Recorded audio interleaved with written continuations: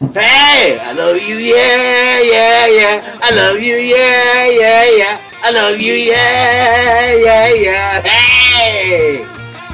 Hey, kids! I'm Rock 'N Wool, the Rock 'N Wool Sheep, here to bring you today's key. Today's key is put Jesus first. Jesus always needs to be put first in our lives. He's very important. I know it's important in my life. Hey! Well, kids, I gotta go do a show. See you again next week.